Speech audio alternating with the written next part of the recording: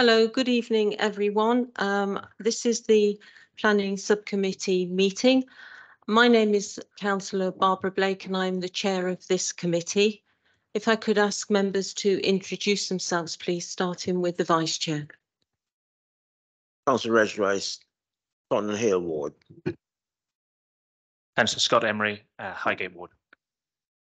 Councillor Sue Jameson, Bruce Castle.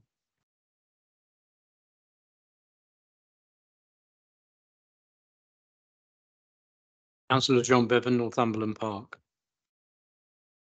Councillor Kathy Brennan, Muswell Hill.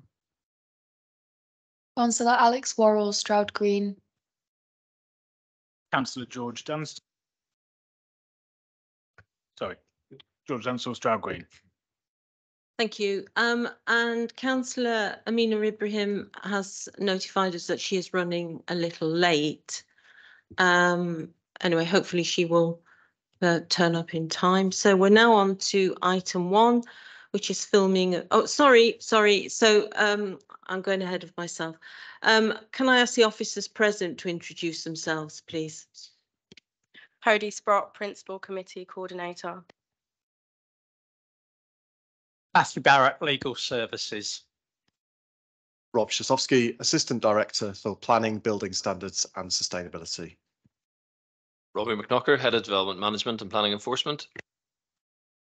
Valerie Okeiyi, Principal Planning Officer. John McRory, Major Applications Team Leader.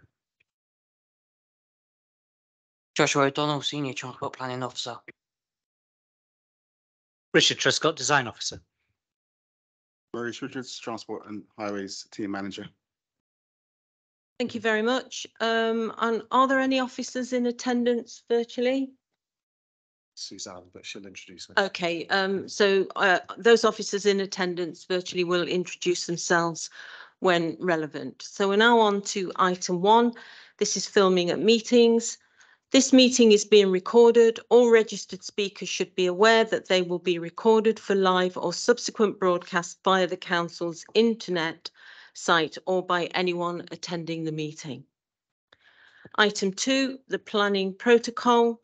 Uh, members and speakers are requested to note the information set out at item two on the agenda, which I won't read out, but it's there on the agenda. Um, item three, apologies. Um, I've received one um, uh, item of uh, one apology from Councillor Nicola Bartlett. Item four, urgent business. So there are no items of urgent business. And we're on to item five, which is declarations of interest. So do members have any declarations of interest? No. Okay, thank you. So we're on to item six. This is the minutes of the meetings held on the uh, on the 16th of October. Uh, do we agree those? To, do we approve the minutes? Approved. Thank you. So we're now on to item seven, which is planning applications. Um, and we're here uh, this evening to discuss uh, the Braemar Avenue Baptist Church. However, members, you will note that there is a, an addendum which um, has been produced due to a late objection. So I am proposing a 15 minute adjournment so that members you can read the um, addendum. Is that agreed? Thank you. Okay, so we will adjourn for 15 minutes. Uh, and to people in the gallery, um, there are some copies of the addendum I think have been circulated uh, to you. So they're on that table there. Okay, so uh, we're all going to read the addendum for 15 minutes. Thank you.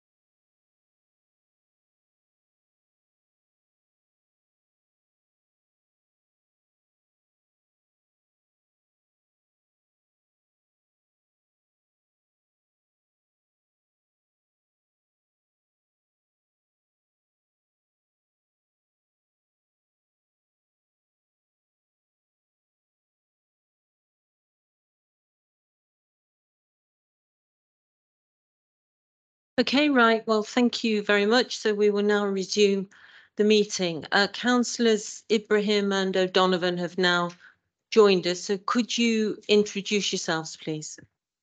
Um, councillor Amina Ibrahim, uh, councillor for Noel Park Ward. Hello, I'm councillor Sean O'Donovan, councillor for Tottenham Hale Ward. Thank you. Um, and do you have any declarations of interest? No. Okay, thank you. So we're now on to item eight, um, and this is the Braemar Avenue Baptist Church. Um, and it is set out in the pack at pages seven to one seven six. I won't read out the proposal because as I said, that's in the pack. Um, the recommendation is to grant. Um, I would like to confirm firstly, though, with the committee's agreement that the committee will allow four speakers in relation to this item, one of them being Councillor Mason. There will be four speakers in objection who will have three minutes each to speak. The applicant team will have a total of 12 minutes to speak. Is this agreed? Okay, thank you. So um, I'll now hand over to uh, the planning officer to introduce the application. Thank you.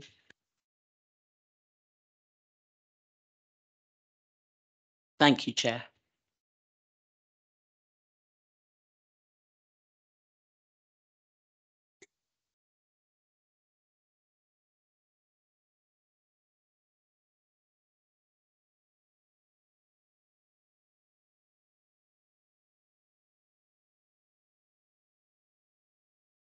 The proposal description is for full planning and listed building consent for the demolition of the existing church hall and 1950s brick addition to the rear of the main church building and redevelopment of the site to provide a part one, part four story building plus basement comprising a new church hall and associated facilities at ground and basement level and self-contained residential units at ground to fourth floor level with associated refuse, recyc recycling storage, cycle parking facilities, including landscaping improvements. This is the site location plan. The site is located at the top of Braemar Avenue to the eastern side at the junction with Bounds Green Road. The site, highlighted in red, is occupied by the 1950s brick addition and existing church hall to the rear of the main church, which is highlighted in blue. Both sites fall under the applicant's ownership, and the frontage of the main church is on Bounds Green Road. This is the aerial view of the site, including the main church highlighted in yellow. Immediately south and west of the site are the terrace houses on Braemar Avenue, and immediately east is the New River Path and public park known as Nightingale Gardens, and to the north is Bounds Green Road. The main church building highlighted in blue is Grade 2 statutory listed.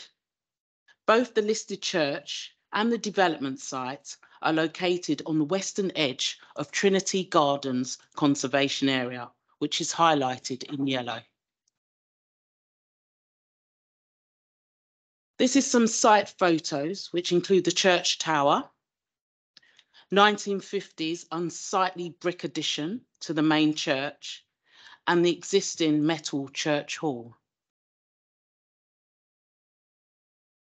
The photo to the left is the impressive Grade 2 listed late Gothic revival style Baptist church. And to the right is the very derelict metal church hall, which is cladded with corrugated metal with blue painted windows. The proposal is for the redevelopment of the site to provide a new part one and part four story building plus basement to create 15 flats, maisonettes in total, including a new single story glass link entrance with access to the new hall at basement level and main church. The dwelling mix comprises seven one bed, five two beds and three three beds The proposal also includes private amenity space and soft and hard landscaping. And the proposed scheme will be car-free and include two blue badge spaces.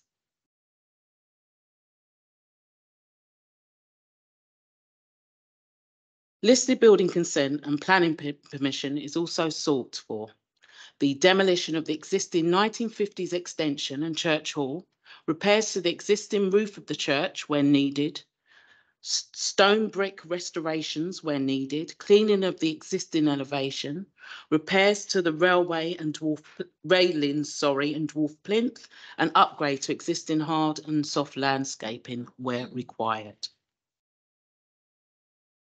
The considerations include the principle of the development, affordable housing, heritage impact, quality of design, quality of accommodation, landscaping, impact on amenity, transport and sustainability.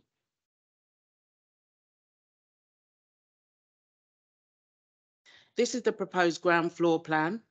The main church is currently accessed off Bounds Green Road and the proposal provides secondary access to the church from the new single-storey glazed link, which is located between the church and the new building. The glazed link also provides access to the new hall at basement level. The new entrance forecourt will provide new soft and hard landscaping. A new secure external cycle shelter is proposed at the frontage.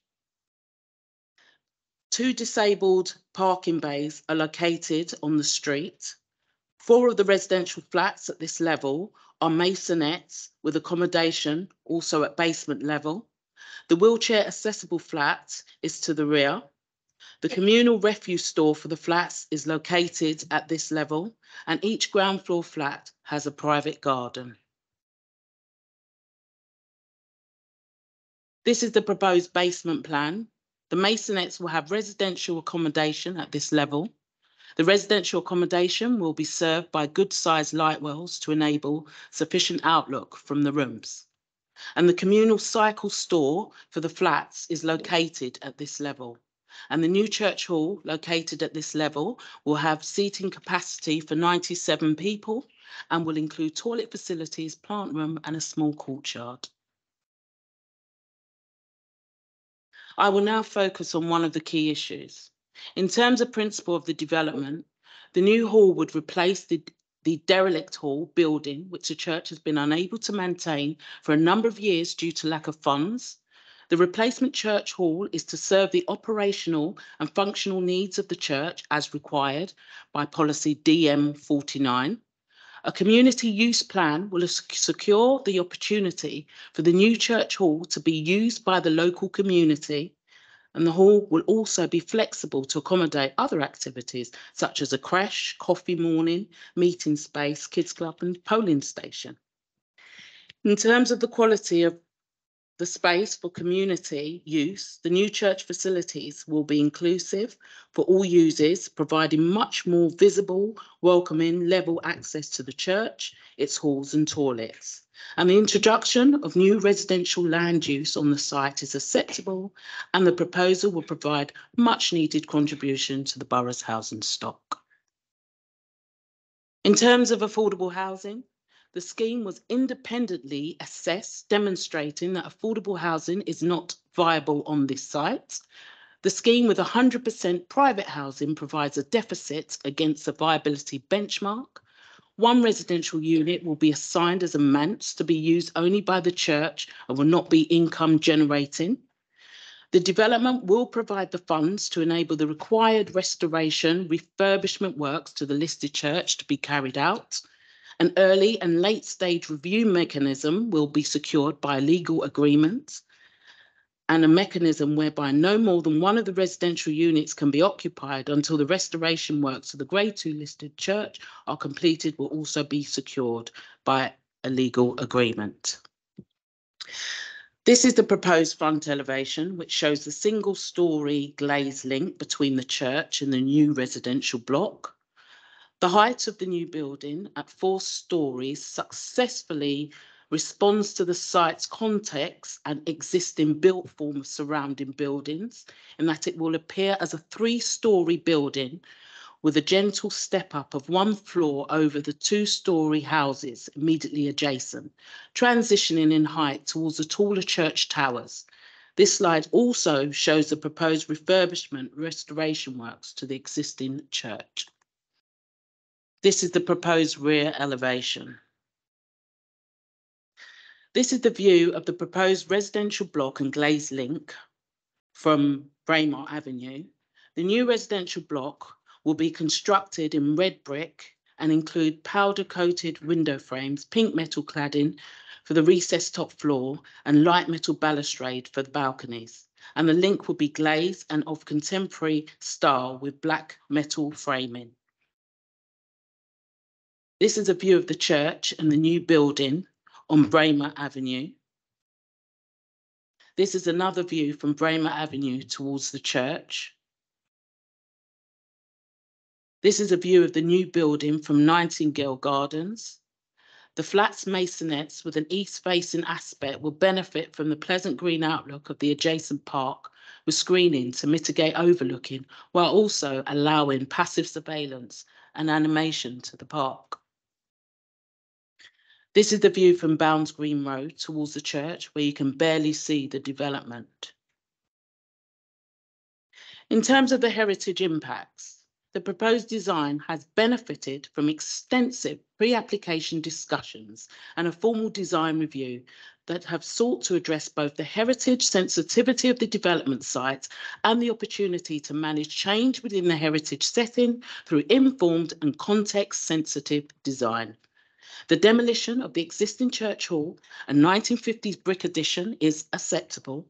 The 1950s extension is unsightly and the design value of the tin tabernacle is low as its fabric is in a decayed state and suffers from evident structural issues and all of the architectural features that contributed to the architectural quality of the formal church hall have been lost.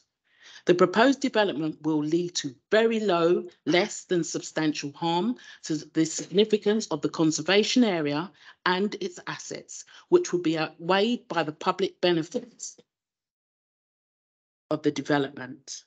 The works of the Grade 2 listed church are welcomed and will greatly improve and enhance the character of the church as a focal building within the conservation area and will have a positive impact on the character of the listed building. Given the above and the support from the Conservation and the Design Officer and the Quality Review Panel, the proposed development in conservation and heritage terms is supported. This is the proposed upper floor plans. Note how the building steps back from the neighbours immediately south at upper floor level. Also note how the building also steps back to avoid the tree on the boundary. The first and second floor have private amenity space in the form of a balcony and the two flats on the third floor have access onto private terrace. An intensive green roof is proposed on the roof of the new single-storey glazed link, and the upper floor flats to the east will have a view onto the park. This is the proposed landscaping plan. Soft and hard landscaping is proposed around the boundaries of the sites within the landscape entrance courtyard, private gardens, church amenity space, and at roof level. This is the proposed tree plan 11 trees will be retained within the church boundaries and immediately adjacent to the site within Nightingale Gardens. A total of five trees have been identified for removal, including the mature ash tree on the eastern boundary, which suffers from significant deadwood throughout, with symptoms of the terminal um, disease ash dieback. It is proposed that 10 new trees, which comprise of eight trees along the courtyard entrance and two in front of the new residential building are provided, and the applicant has also agreed to the planting of three mature replacement trees on the Nightingale's Gardens boundary immediately east of the site to compensate the loss of the mature ash tree. In terms of impact on amenity, there would be no material impact on the amenity of nearby residents in regards to loss of outlook or privacy, and the impact on daylight sunlight is minimal. The hall within the basement where activities take place will be insulated from causing disturbance to the main church space and existing and proposed residential neighbours. To mitigate loss of privacy and overlooking, in particularly to the gardens of the terrace immediately south of the site on Braemar Avenue, the use of high-level windows to the south-facing living room, dining, kitchen area at first and second floor level is proposed, as well as non-accessible areas of the roof terrace which serve the unit on the third floor. In terms of transport and parking, the PTAL is six A, which is very good. The scheme is a car-free development. Two on-street blue badge parking bays are proposed. And in terms of the residential units, twenty-six long stay and four short stay cycle parking spaces are proposed. And in terms of the church, four long stay and seven short stay cycle parking spaces is proposed. In terms of deli- delivery and servicing activity, deliveries for the church will remain as present and up to two deliveries per day would be expected for the residential development. And the refuse and recycling store is accessed via the entrance courtyard. This is the section one oh six head of terms. Officers recommend the committee resolves to grant planning permission subject to conditions and planning obligations as set out in the committee report. Thank you, Chair. Thank you, Valerie. Thank you for that. So uh, do members have any questions, any um, questions of clarification uh, to the, for the planning officer, please? So I've got councillor Emery and councillor Emery and councillor Rupp. So yeah, I just want to get an explanation on one of the addendum points um, in terms of the three bed unit for the pastor. Just wanted to know if you could explain how that a home that is reserved for a member of staff can be counted as a three bedroom unit for the council's stats. Thank you, councillor. So um, the um, point that was levelled in the objection was that um, this shouldn't be counted as- a um, a unit that contributes to housing in the borough. Um, our assessment is that, that that's not correct. That um, you know this still goes into the pool of housing in the borough um, and you know can be occupied by a family. So there's there's no reason that that restriction on its use in terms of the pastor necessarily um, means that it shouldn't be treated as, as part of the housing stock um, for the borough. Um, it, it will have an occupation restriction, but um, you know, it's, it's still part of the private housing stock, albeit reserved for the pastor of the church. Councillor Rice? Thank you. Firstly, I would like to thank the officers for a very full and clear report. Uh, can I just query this two blue badge schemes on the parking arrangements? I mean, this is a church and people do die and have funerals, and there tend to be large funerals. In those circumstances, why only provide for two blue badge parking spaces? Uh, on page, not sure what page this is, three oh seven in the supplementary bundle. There's a phrase there I haven't come across before. It talks about mischaracterization of planning officer's summary. What does that mean? What's mischaracterizations? You find a page? Is a page with a little uh rugged old hole in the top right-hand corner. Talking about on the addendum, Yes, councillor Rice? yes. Can you see it? No, I can. hold it up so that I can see Sorry? it, please. It's on this page. Right, One, seven.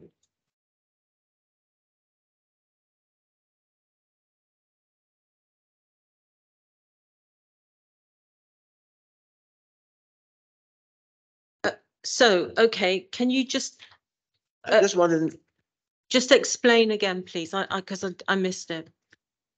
I'm asking for an explanation. I just. Ask want to again know- then. I want to know what that phrase means. I haven't seen it before. What does it mean? What it relates to? Chair, if I could just um provide clarity. So that this is um the um late objection we received, um paragraph seventeen of that um in the addendum. So um in that, the objector um suggests that the planning officer's um summary has has um mischaracterized um community's responses. So um they're saying that the- um the way we've represented um their concerns misrepresents them. So it, it might perhaps be a, a question for the objector when, when they come to speak. Chair, if I could cover off the parking spaces. Uh, Church Council Planning. So council, there, there is no change to the existing activities in the church. So normally when a church has a funeral and they require a parking permit, they normally phone through to a parking service who can uh, offer suspensions or permits on the day. And I think that takes place for another church that's on Green Lanes. I've attended it myself. So the blue badge places are to service the residential element of the development proposal. So it can comply with the London plan in terms of that ten percent blue badge parking for the fifteen units. If there's a member of the clergy living on site, then it would mean only one blue badge space rather than two, because presumably that member of the clergy would have access to that parking space. Only our residents who are disabled will have uh, access to that car parking space. So that car-free restriction uh, that's attached to the planning permission will apply to that member of the clergy unless that member of the clergy has a disability. Uh, so it's, it's clearly only for residents with disability. That's why it's a blue badge space. Thank you. Um, so councillor Worrell? Thank you. Um, I was wondering firstly if officers could clarify this point about it being an enabling development. So is it an enabling development? Has that been clear from the start? Have people been made aware from that from the start? And um, yeah, should that have been made clear?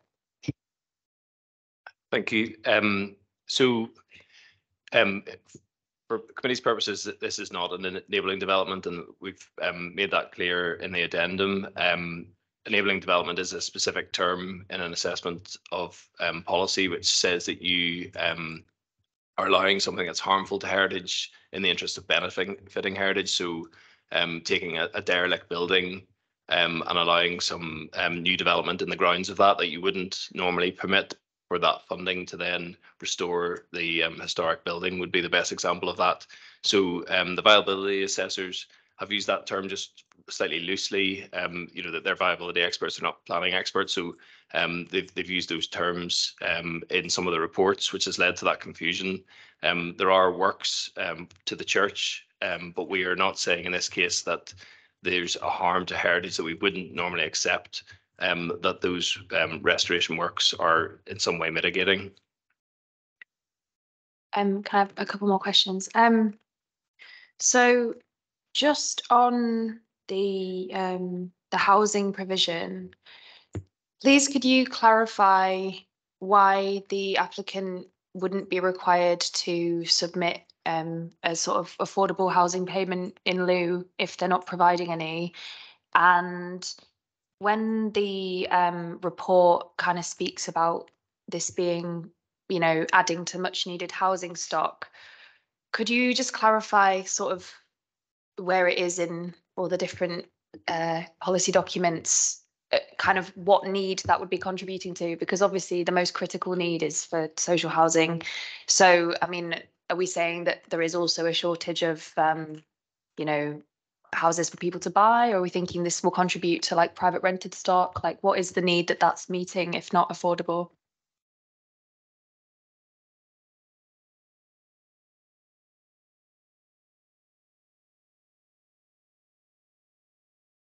So just um, if I can find it, yeah. So um, if you go to page 25, um, paragraph 6.23, is is really the, the sort of key policy um, issue here, which is our our housing target. Um, so that's um, a thousand five hundred and ninety-two dwellings per annum. So that's to um, a that's assessed by the GLA and, and our own assessments of our um, housing needs. So that's to meet the housing needs um, of population growth and residents um, to support that, that, that housing need, um, the local economy and those issues. Um, if you don't deliver on that, um, there are obviously impacts on um, how you have to assess planning applications. So um, we at the moment don't have a five-year housing land supply um, which means you're subject, your decisions are subject to the tilted balance. So um, that certainly weakens your decision making. Um, we're not saying in this case that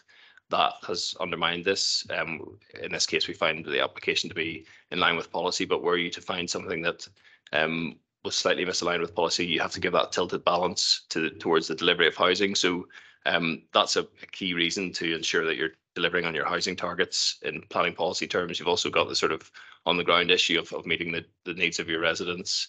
Um, and obviously, if you don't, that you know house prices continue to to um, increase, and um, you know people are, are priced out of the market on that um, private market, um, which has negative consequences for the borough. So that's really um, the crux of of why um, it's um, whilst there is an important need for um, affordable housing, there's also a need to meet your um, targets in terms of private housing. And and on the point about um not having to pay the like a make a payment in lieu for the lack of affordable. Yeah, sorry. Um, so the issue there is that the viability assessment has shown that that's not viable. Um, so it's showing a, deficit of um, just over 300,000 um, uh, in terms of viability. Um, that's um, based on no land value, so um, the, the, the church isn't getting um, a receipt in terms of uh, what the land is worth, which would normally be accounted for in a viability assessment. You then have a policy requirement um, to replace a community facility. In this case, um, the the um, the church hall and, and the element of that that's demolished um, needs replaced. Um, and our, we have policies that support that. So these things um, eat into the viability, um, you know, even with new land value. And um, for a development of 15 units, um, it, it's small, so you don't have those economies of scale. So that's in, in a way what has led to this position that um, there is um, no extra um, money in the in the viability for affordable housing. Um, one of the issues that's been raised by the objectors is um, about the manse being a benefit to the church. Um, even if you did include that as a private um, sale, the development still would be unviable by a, few thousand pounds. So, um, you know, it's a very marginal position, um, even, you know, stripping out some of those things and, and moving it around. So um, the evidence um, has been submitted, it's been tested by our experts in viability and, and found that a payment in lieu can't be provided in this case. Thank you. So I've got councillor Ibrahim and councillor Brennan. Councillor Ibrahim, please.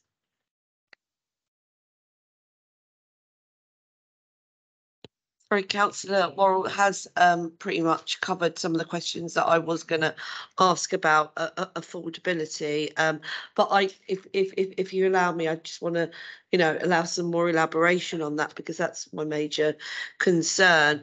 So in terms of the viability being so tight, um, so even even the provision of one affordable home is that to do with the fact that one of the could that possibly be the fact that one of the homes is actually not is is just going to be um let to the pastor so that won't be bringing in an income so potentially could that if if that had been an affordable home for a, a family in the borough would that have made this different Uh, so the, the short answer is no. Um, even um, when you look at the version of the viability where that was assessed as a private unit, um, it was thirty thousand pounds um, that would have been available for a payment in lieu, but um, that was actually not based on the um, community infrastructure levy contributions that you'll see in the report.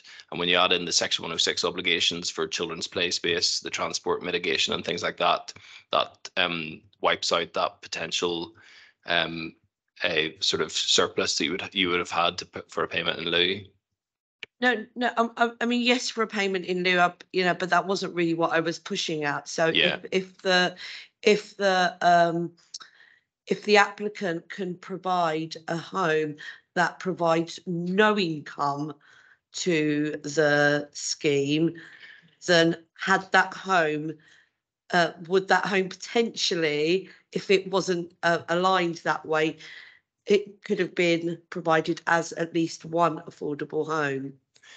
And the numbers It's wouldn't. Currently provided no income. Yes, no, I, I understand, yeah, so, um, it would obviously have a lesser value than it would have had in a private, um, a option, so, um, if that, that thirty thousand pound surplus would, would drop even lower, um, so, uh, you know, its value is, is less, so uh, if you were to run that through the appraisal, you'd be getting a deficit, in this case, um, with that sort of zero value, there, there's, there's still a deficit, so, um, it, um, the, the numbers just don't support that you could, we could insist on that being provided uh, as an affordable home. Um, in a way, it's a, you know, a decision that the developer has made. Um, so we can't ins- insist that that be an affordable home, um, in lieu of that.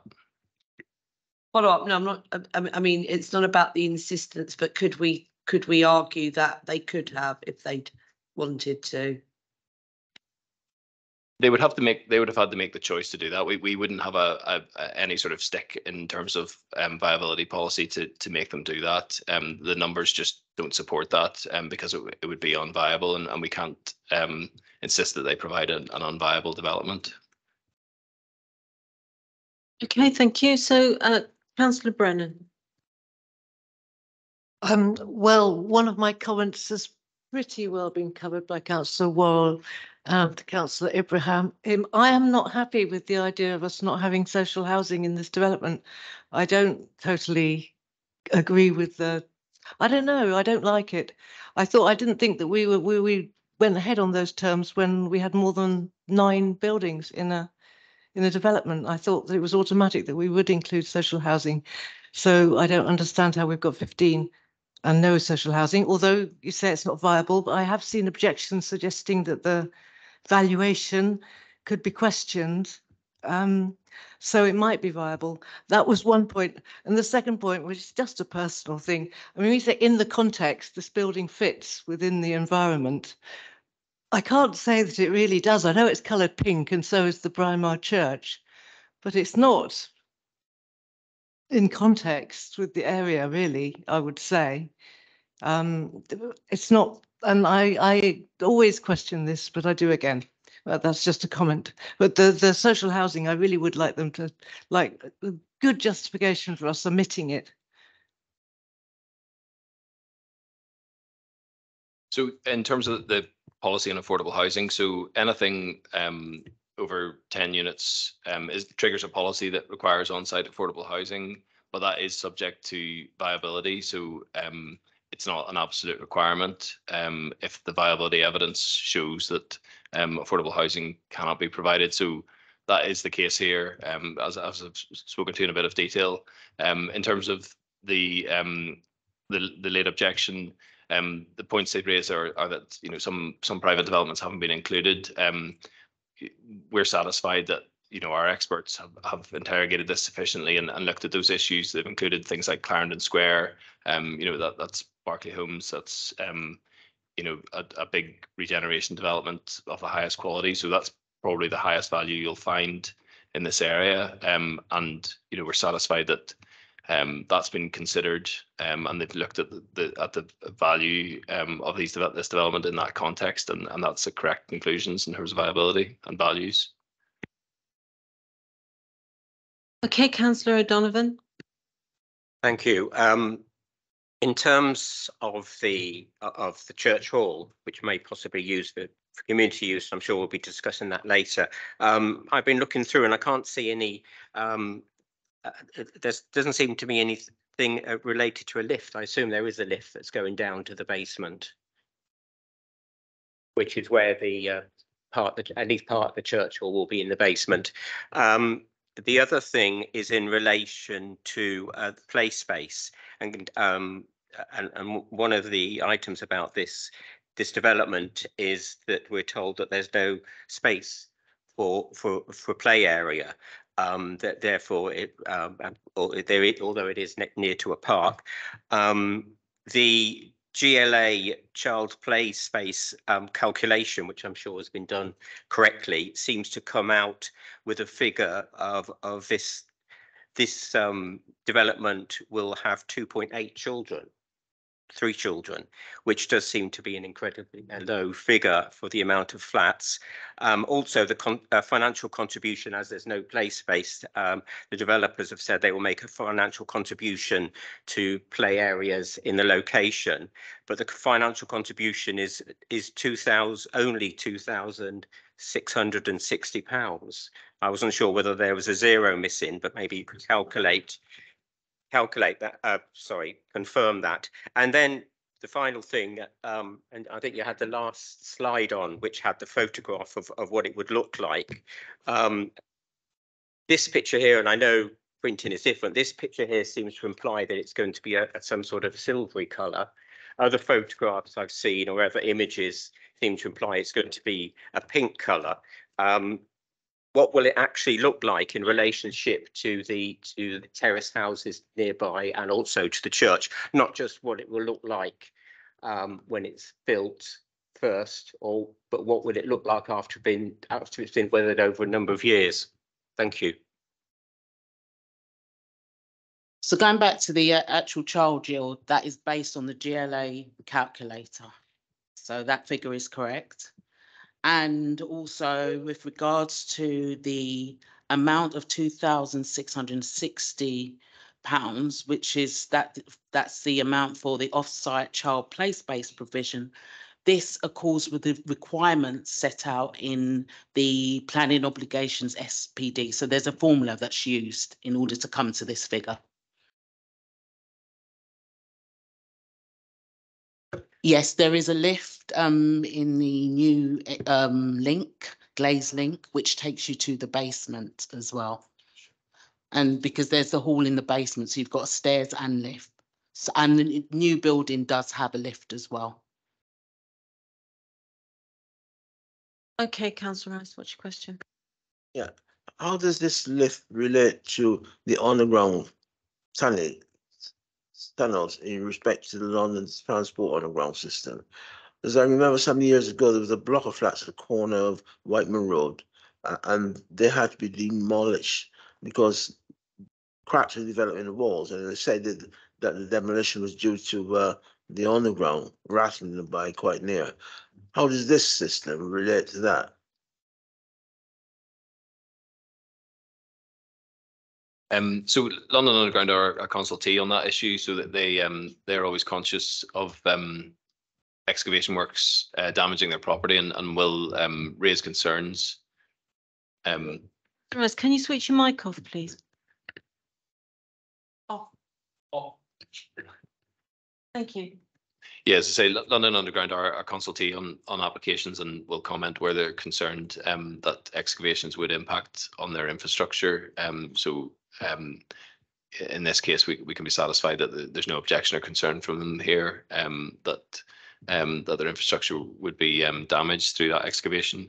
Um, and I think just the, the point on the, um, image, so, um, what's at- attached, to the objection in your, um, addendum is an earlier iteration of the, development. So that was a, a sixteen unit development that was, a consulted on with residents, I believe. Um, that has been then been amended through pre-application discussions with um, the officers, and it's probably just worth um, bringing in Richard Truscott just to explain um, the sort of um, rationale for the um, design and, and his comments on that in terms of how this fits um, with the surrounding context. Thank you. Yes. Um, yeah, we, we're conf- I'm confident and the quality review panel are confident that the appearance is appropriate to the context and um, use of brick is a durable material that will uh, stand the tests of time. And the other materials are also will also be durable. Although obviously materials will be conditioned um, to be approved with samples um, before construction. Um, we don't insist on um, pastiche to match context. We uh, seek um, contemporary design that harmonizes with context, such as a brick that um, matches the broad range of colours of bricks in the existing context, which I'm confident we will get. Um, we have uh, got from them in, in, in the in, in how much has been committed to on appearance so far. Um, there was a great deal of discussion about from, through the design process about whether there should be a second material matching the grey of the church.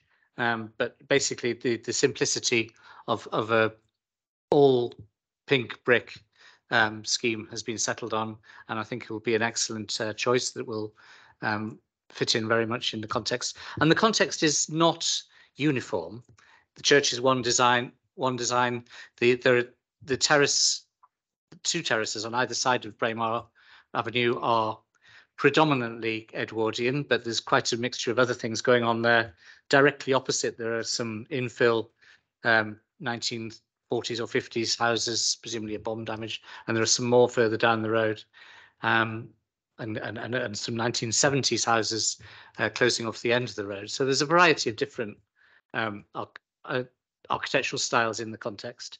Um, and I'm confident it'll be a, a good contemporary building that will um, harmonize with that varied context, including with good matching materials, proportions, rhythm of bays, and so on. The important things will match, but it, it's not a, it's not trying to be a pastiche of any of the existing context styles. Thank you. Um, so one last question from Councillor Brennan. Oh, uh, uh, Councillor Brennan, quickly, please. Well, I mean, it's, it's, it's more of a comment. I was just going to say that Braemar Avenue is different from Clarendon, Square, and I don't think that there's been the small um, attention to detail to see that, that I think house prices are different on Braemar Avenue and Clarendon Avenue.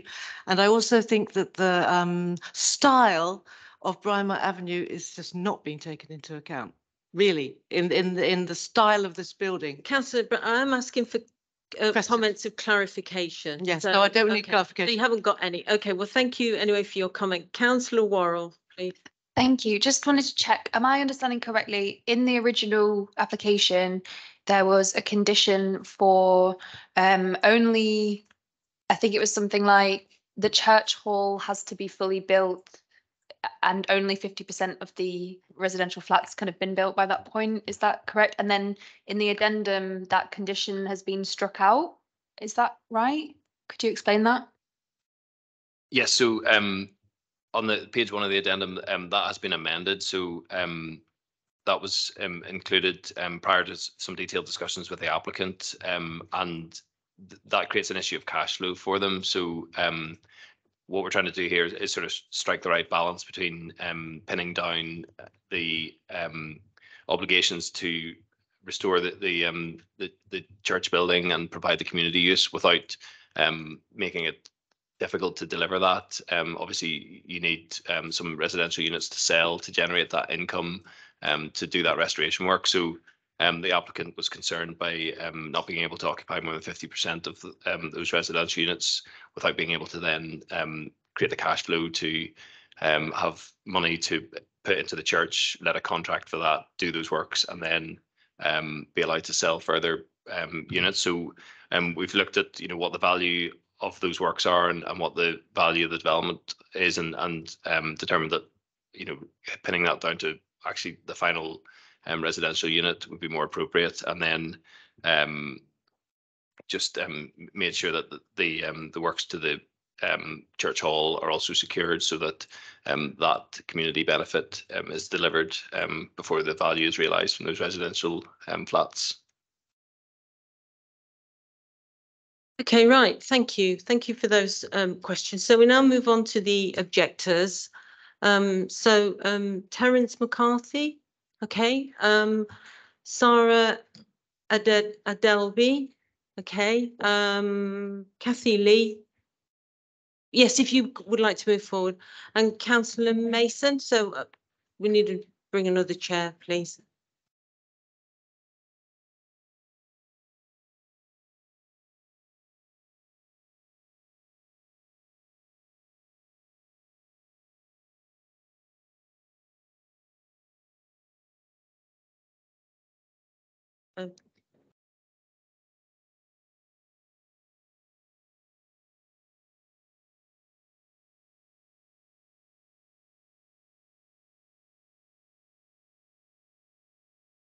So, um, uh, no, um, the committee clerk is, is going to get some water. And I think Councillor Mason, oh, you're there. Do you want to, to come up and bring a chair up as well?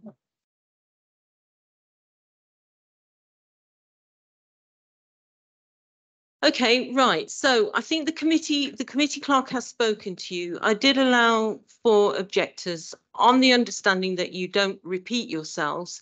Um, so I hope so you've liaised and that you have three minutes. So I will stop you um, when you've all had three minutes. Okay, so so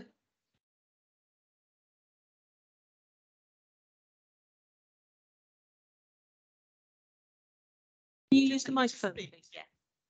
I would like just to clarify on the addendum that's been tabled tonight, which of course we've just had a chance to read. One of the points that I was going to be making is impacted by that addendum. And I wondered whether you might give me a little allowance of extra time, just a few seconds, to address what is now proposed in the addendum. Actually, I think you can pick that up during the questions from the from the councillors. So um, no, I am going to keep you all to um, a strict three minutes. The committee clerk did um, explain all of that to you. So who who's going first, please? Uh, Terence McCarthy, I'll, I'll go first. Okay, Mr McCarthy, if you'd like to start now, thank you. Uh, I'm speaking on behalf of the Three Avenues Residents Association, TARA, which represents over 60 households living in the vicinity of the church. TARA plays a major role in the community. All TARA members strongly object to a modern four-storey building with basement. The church and hall are listed buildings in the Trinity Gardens Conservation Area. The development will dominate the protected view of the church. The report obscures from you the substantial harm this development will have on the community. There is no assessment of loss of amenity suffered by neighbouring properties. The planning officer's report say there will be an impact, but neighbouring properties will not be materially affected. This has no evidential basis for that conclusion. We are particularly concerned about the loss of amenity to houses next to the development, particularly number one, Braemar Avenue. The suggestion that there is less expectation of privacy to street-facing windows is wrong. Haringey's planning policies state that overlooking should be avoided. There is a substantial difference between a person looking across the road at another house and a person being able to overlook into our bedrooms. The Supreme Court said Tate Modern's viewing platform caused a substantial interference to residents because it was exceptional use of Tate's property. It is exceptional use of the church land to build residential flats that exceed the height of the houses, where no other house on the street has a balcony on the front of the building. The lack of assessment means that the planning officer has inadequately considered these issues. On parking, there are no restrictions on Braemar Avenue in the evenings and all day Sunday. Parking is already a problem in the area, such that the church website itself advises the congregation to arrive early to secure parking and car park and cars park illegally on the grass in front of the church. There has been no proper impact assessment of present and future parking. The traffic report is inadequate and the travel action plan simply will not work. There is no space for extra cars for visitors to the flats and events in the large meeting room. Braemar Avenue is a cul-de-sac with limited spaces for turning. Congestions, congestion will occur, causing noise and obstructing access for emergency vehicles to the sheltered accommodation at the end of the avenue. The increase in noise disturbance caused by extra visitors via the side entrance to the church and hall will exacerbate the problems already experienced by residents, especially late in the evening. Despite a wholly inadequate consultation, it is revealing that of 109 community responses, not one in support of the Thank you, Miss- development. thank you, thank you very much, Mr McCarthy, for that. Thank you. So um, who who wants to go next? And if you could just introduce yourself, please. Thank you. Might I grab a Is the glass of water, is water? the wa- all right, we, we, we'll, it's on its way. We'll chase it up. I might, it's a green bottle just outside my, one of my daughter's bottles.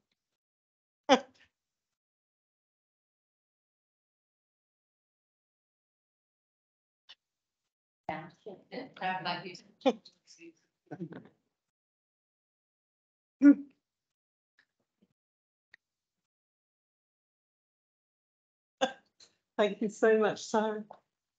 It's only a little drop, but it will help.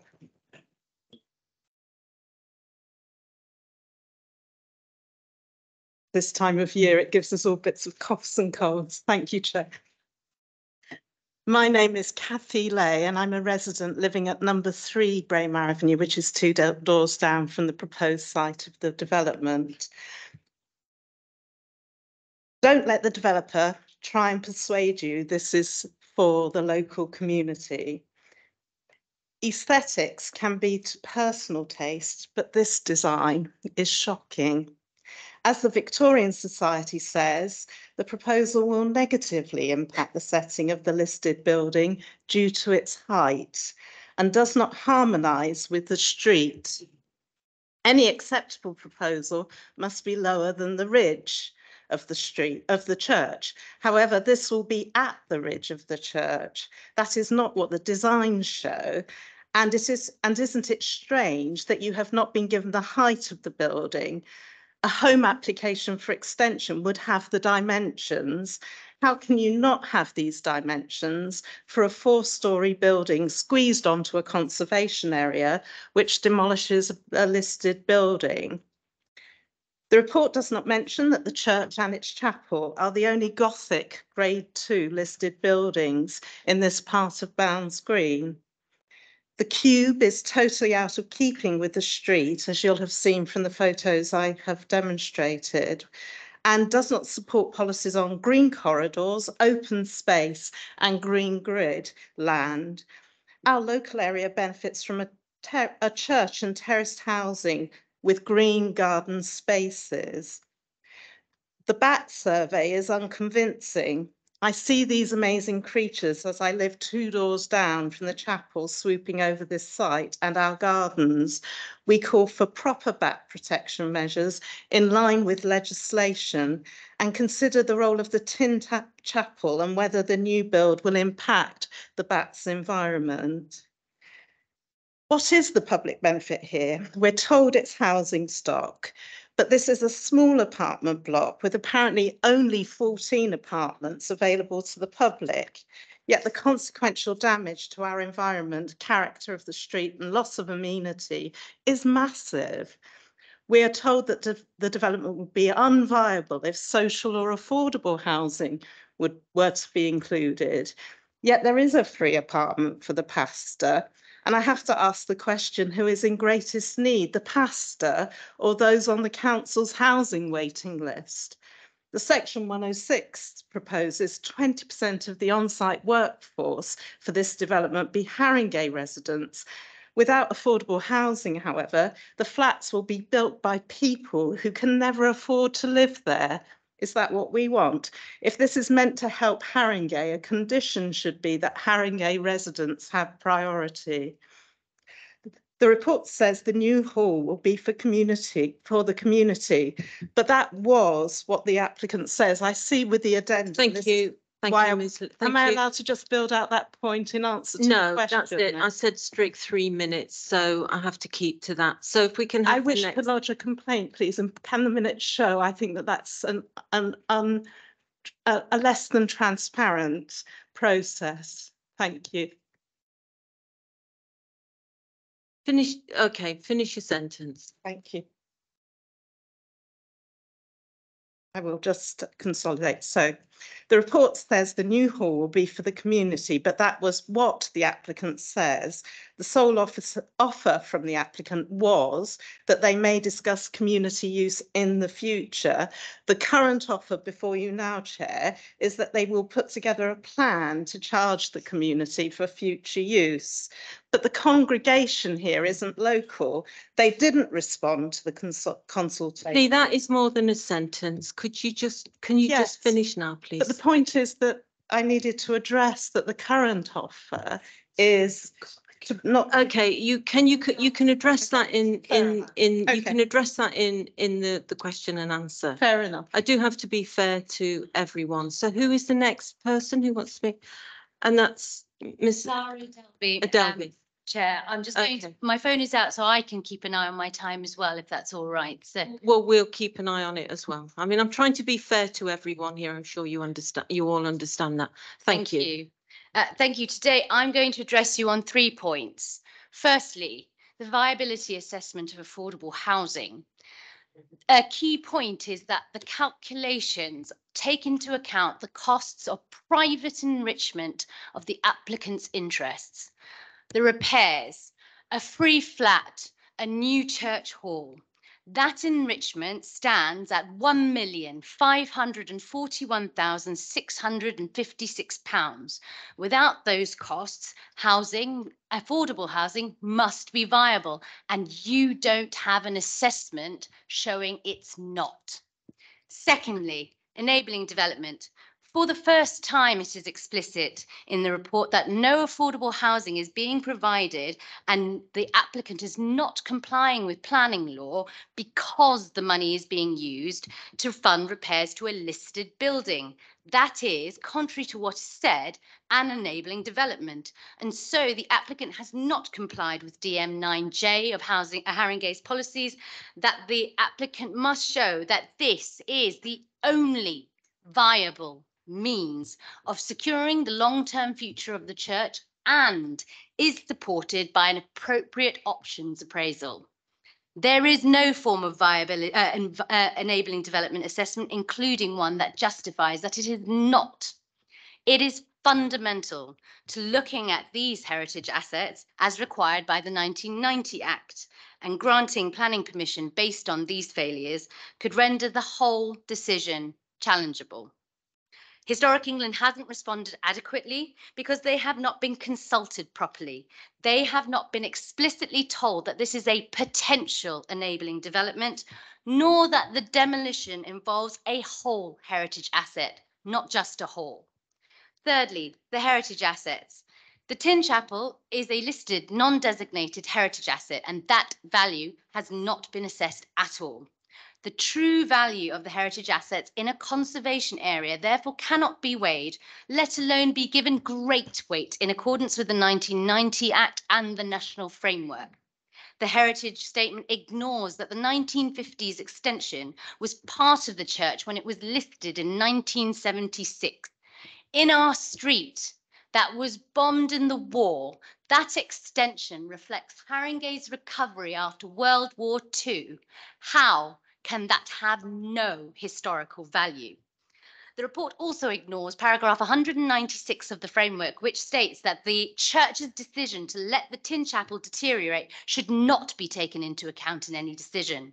The objection of the Victorian Society is cannot be dismissed, and the heritage assess- assessment is wholly inadequate.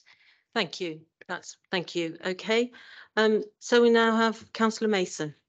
You have three minutes, councillor Mason. Thank you very much. Um, I'm here representing Bounds Green and in particular the set of roads of which Braemar Avenue is one of those roads. The Baptist Church is one of four churches on Bounds Green near the Wood Green High Road. Um, and it is a church which is independently funded and financially self-sustaining. Unlike the other three churches, Braemar Road is not a community church, but is a property trust and is also part of a community of Baptist churches. So this development is one of a number of developments that the Baptist churches have put together in order to sustain the future of their of um, their community. Um, but not in order to be um, financially viable in terms of the need for selling houses on their site. That is not part of their property trust. So let's just consider this is not as set out a needed or wanted community development. There are plenty of church halls, community halls, schools, etc., with halls to rent in the area. We've got loads of them. What we haven't got is any free or easily accessible community space for the people who live in the area, of which over 40% of people are impoverished and under in fairly dire need as is exampled by the fact that very many people on Braemar Road, which is close to St Michael's Church Hall, are supporters of the food bank and volunteer regularly for it. The church, however, does not do this. The church is not integrated and has no place in the community, besides which the other three churches, the Greek church, the um, the Church of England Church and the Seventh Day um, Adventist Church all contribute to the community. This is not a community um, viable project. So the church meets once a week um, and is let out to other churches twice a week. Um, the tabernacle has not been used for between 15 to 20 years. It used to be a scouts hut and people here who are have grown up children remember it, but anybody else doesn't remember it. So it's not been used by the community for a very, very long time. The second point I wish to address is, although decent and affordable housing is needed in the borough, the biggest problem isn't a lack of high quality dwellings, but the lack of social housing for the 4,000 children, 4,000 children in temporary accommodation, including um, people from Bounds Green who are now living in hotels with no cooking facilities because they were evicted by their private rented landlords. And this development only provides one three bed unit and the other one is given to the pastor. The local plan policy SP2 states that affordable housing target is 40% of developments over 10 units.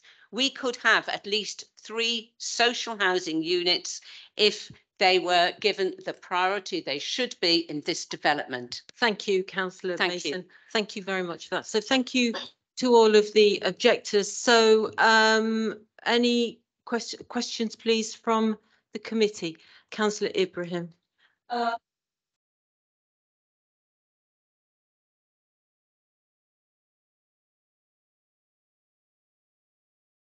Can you put your mic? Um, you wanted to elaborate further on some of you, um, some questions with regard to the addendum. Um, I'll ask you, um, if you could do that. Thank you, councillor. Yes, I was just reading at speed what the addendum was saying about community use. And the concern we have is that there's now a current offer to attach a condition that would allow allow the community to be consulted on that use after the approval in principle of this planning consent. And our concern, quite frankly, is that we're a really integrated community. You've heard from our councillor, Councillor Mary Mason. We do act as a community, but since 2018, we haven't once been invited to contribute to what the community use might be for this building. We have all sorts of really interesting ideas about what this site could provide, including affordable and social housing, but not once have our views been sought. Okay, thank you. So I want to bring uh, Robbie McNaugher in now, please. Thank you, Chair. I think just to be clear for members, um, in terms of um, what you should be should be considering in terms of a community use, um, uh, there's a definition of of that set out in the local plan and and in coming from the London plan. Um, that includes um, church halls, community centres, churches. Um, it doesn't matter where the re- where the users of that building are coming from or any of those issues. You know, this is a church and its facilities can be classed as a community use for planning purposes. Um, and our policy says that those should be re-provided and enhanced um, where possible. So that's just something to be clear in your minds in terms of how you categorise this. Um, um, yeah, I'm sure that there's some there could be validity to the concerns of, of residents of, of voice, but um, in pure planning terms, um, your only material consideration is you know that this is is it functions as a community use, and the um the additional condition that has been attached to that is to provide um, some enhancement to that um, to ensure that it, it does um, maximise um, the potential use of that building for the community. Okay, thank you, councillor, um, councillor Bevan, sorry. Yeah, so the, the uh, objector who said about if we didn't build the community hall or the church hall, we could just build more affordable housing. I think I'm correct in saying, officers will tell me if I'm wrong, I think we would be in breach of our local plan and the GLO's plan if we allowed this development to go ahead without any community use.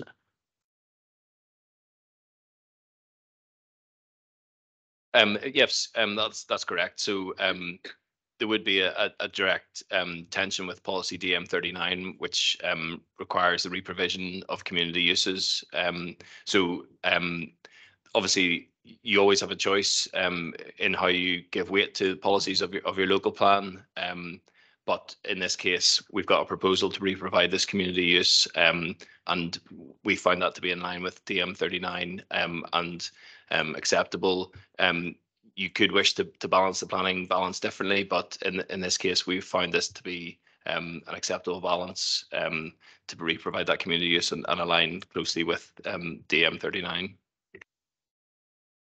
Uh, Miss Lisa, you indicated you wanted Yes. to answer that question. I think there might have been a misunderstanding of my point, Chair. I wasn't suggesting that we sacrifice the community use, but that we sacrifice the manse that was being suggested might be provided free of charge to the rector and that that instead could be substituted for social or affordable housing.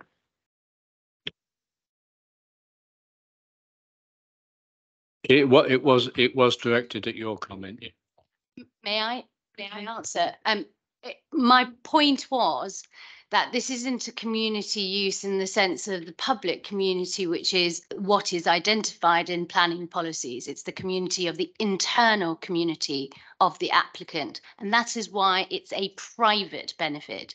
And once you re-add the costs for the private benefit that has been taken off, and you re-add the costs for the building of the flat, and you re-add the costs of the repairs to the church, which will be a private asset if it is not an enabling development, all of that money together, when you redo a viability assessment, it would seem on the face of it that affordable housing should be possible, but critically, you haven't been given that assessment. And the independent financial assessor says in their report, they were not given the assumptions that the applicant had to assume and calculate that affordable housing was not viable.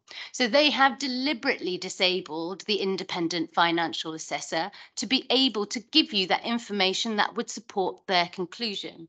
And in, I I would say that is because if they were given that information along with the appropriate comparators, you would see that affordable housing is viable on this site.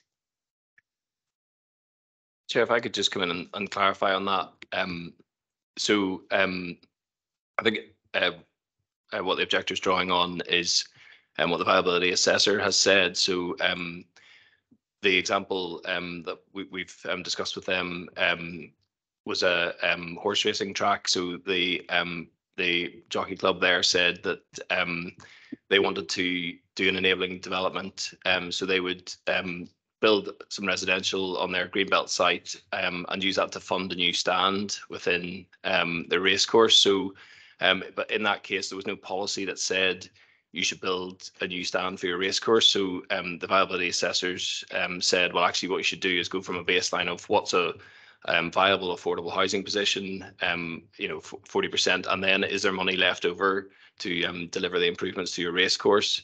So in this case, um, we do have a policy that says you should provide community use, so that's different. It's not like a private venture, like a, a race course. Um, and um, also, um, I think the, the sort of the the, the principal um, issue is, you know, is it viable or not? So um, if you look at the, the numbers in terms of um, the reprovision of the community facility um, in, in terms of the whole, you you could take a different planning balance and say we'd rather have affordable housing than that, but that would be in tension with your, your policy DM thirty nine. Um, when you look at the um, the policy, it says that um, it should be in terms of sites that can viably deliver development and other planning benefits. So the re, the um, the works to the listed building um, are another planning benefit. That's the restoration of a heritage asset.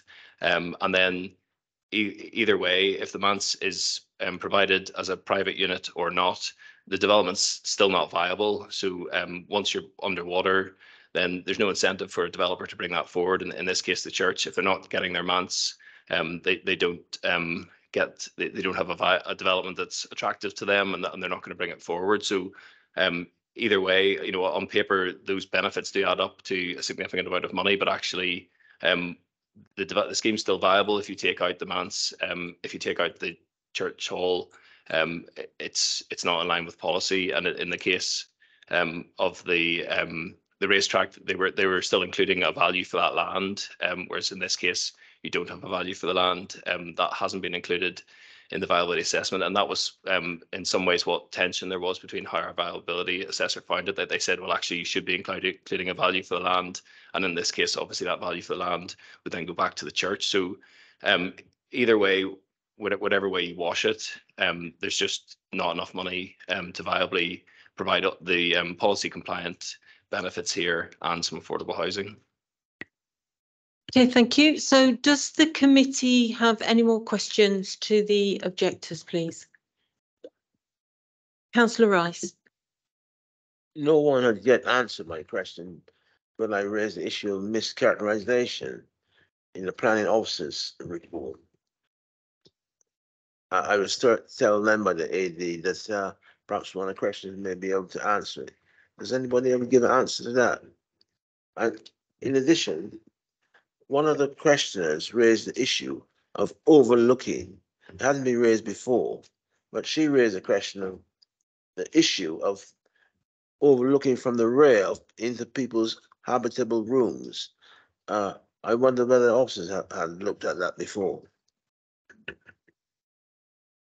Right, so I think your question, your questions are addressed to you, Mr Delby.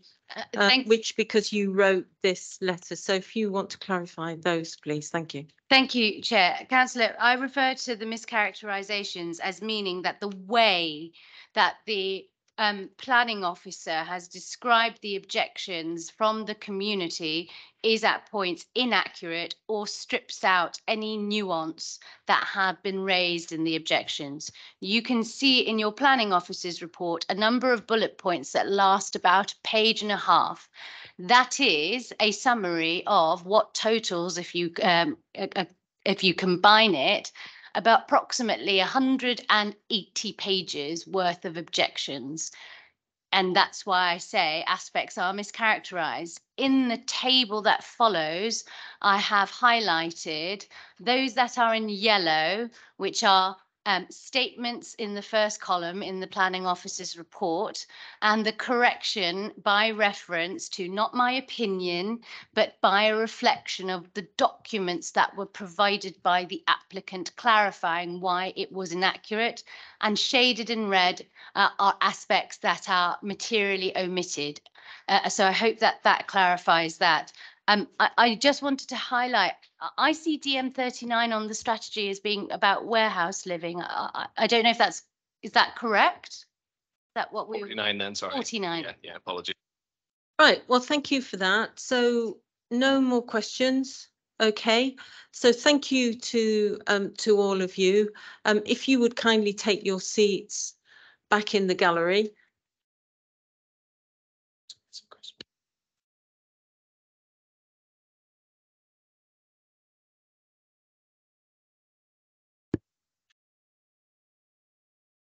I can't hear you, councillor Rice, sorry.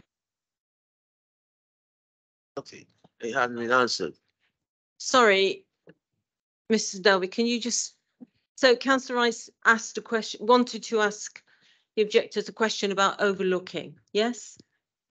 The Objector who brought it up in terms of the people, private rooms are being overlooked from the rear. I just wanted to know what the evidence to support that. Um, no, so the uh, objection about overlooking was in response to the planning officer's uh, statement that there is less expectation of privacy for street facing windows. The upstairs, I'm sorry, that's a bit louder than I had intended it to be.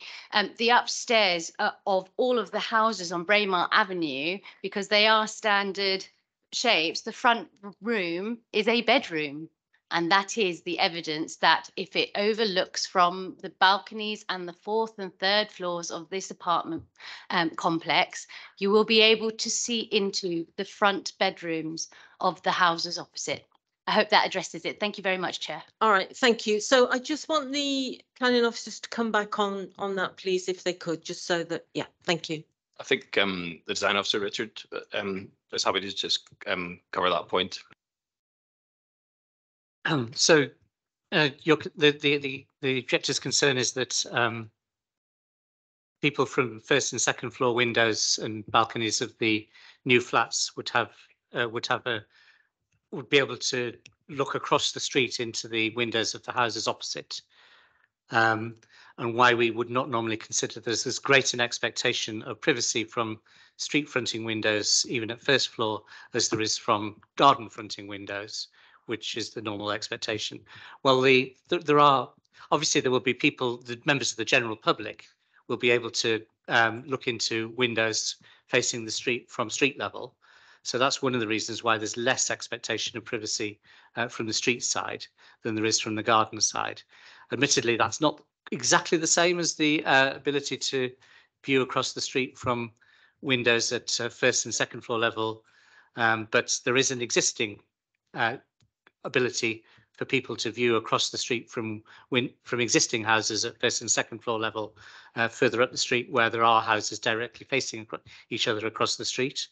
Uh, we don't know how people use their their houses and whether they have their living rooms on the ground floor or first floor. That's um, that could easily be changed without uh, planning uh, getting involved. Um, and um, it doesn't that make that much difference whether people can see from a bedroom window at first floor level to a bedroom window or a living room window to a living to a bedroom window. Um, it's still a street facing window and the street is fairly wide. It's it is it's uh, it, it it's um, 15 or 16 meters wide. There, there, there won't be that much uh, loss of privacy across the street. People can put net curtains up if they're that concerned about privacy. Um, it's a very normal urban situation um, and the existing situation to have windows across the uh, on on uh, facing each other across the street. Also, just to note, the closest separation distance is actually 20 metres, which would ensure privacy is maintained. Okay, all right, thank you.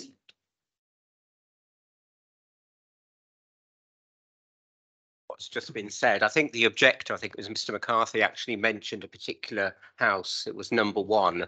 And I think that's on one of the, the photographs. Um, has there been consideration in relation to the um, closeness of the windows of number one and the new development? Thank you. Right, so to mitigate the loss of privacy and overlooking, in particular to number one, the windows have been amended to high level windows. And also the um, terrace as well on third floor level is now non-accessible on that side facing number one's garden and beyond.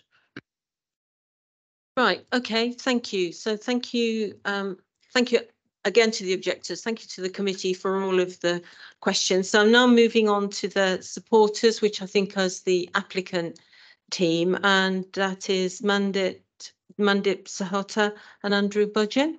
Yes, okay, so you have 12 minutes. Could you just introduce yourselves, please, before you speak? Thank you. Good evening, Chair and members. Um, I'm Mandip Sahota from NTA Planning. This is uh, Andrew Budgen um, from Space Lab and Herb Lab, who are the architects and developers.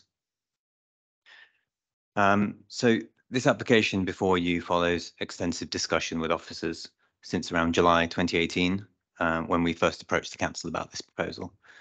Since then, we've had four pre-application meetings and presented the scheme to the quality review panel and to local residents and have continued the dialogue with officers throughout that period. Taking on board the comments, the proposals seek to replace and rationalise and improve the existing defunct church hall and to improve the operational requirements of the church, use and of the present and future needs of its community. The starting point for this proposal is the church works.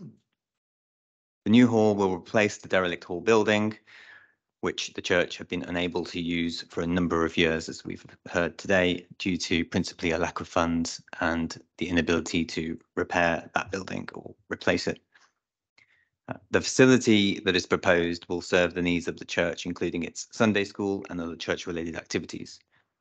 There would also be the opportunity for the new church hall to be used by the local community, offering a flexible space that can accommodate a variety of activities or hired for other appropriate events, which would also provide a vital income stream for the church perpetuity.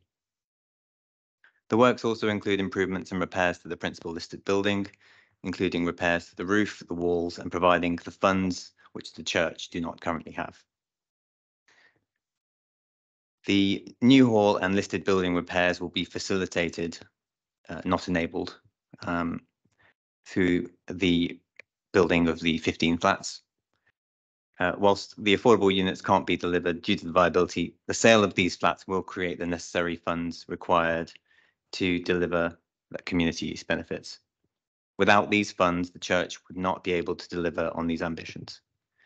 The 15 flats will also contribute towards the housing stock in the borough. It's noted that the council at the present time is unable to fully evidence its five-year housing land supply, and therefore these new homes would contribute to meeting that identified target.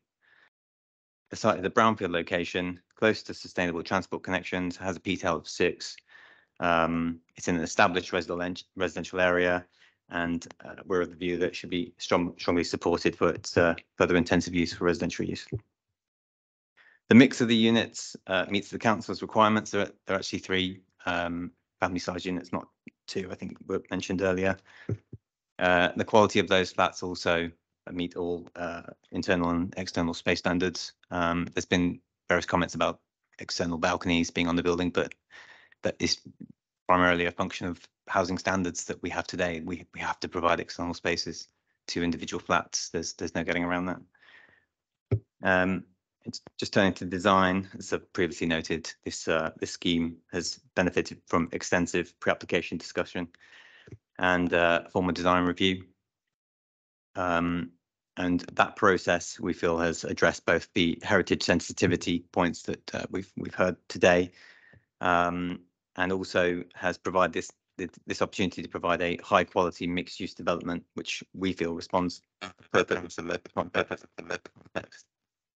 Uh, those proposals are supported by the quality review panel and the council's design and council uh, conservation officers, as we've heard today. Um, through those discussions, we have also looked to design out any material harm to neighbouring uh, amenity, both in terms of sunlight, daylight, to outlook, to privacy, and that's evidenced in the reports and also noted in quite a lot of detail in the officers committee report. Um, further amenity point is that of, of parking. It is a car-free scheme. Uh, we're going to have appropriate cycle storage uh, facilities on site for both the residential and the church elements, uh, partly internally, part externally within the building for short and and long stay provision. So in, in summary, the works of the grade two listed church will greatly improve and enhance the character of the church as a focal building within the conservation area. And in our view, will have a positive impact on the character of the listed building.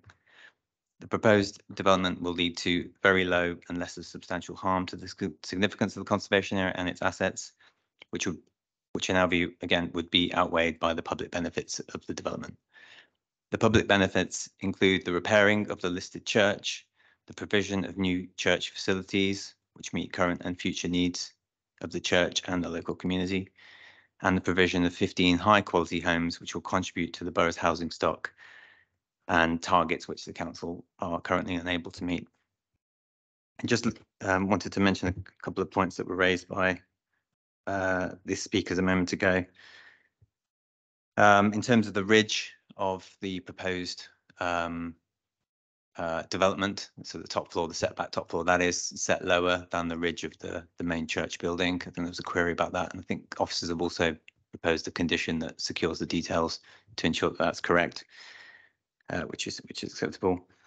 Um, there was also a lot of discussion about whether this is not is or is not enabling development. And I, I hope that officers have clarified that point clearly that it's not enabling development. I think that the, the, the use of the phrase enabling development has been used quite loosely in some of the documents, but uh, it's not a, an enabling development as far as, as, far as uh, Heritage England policy is concerned.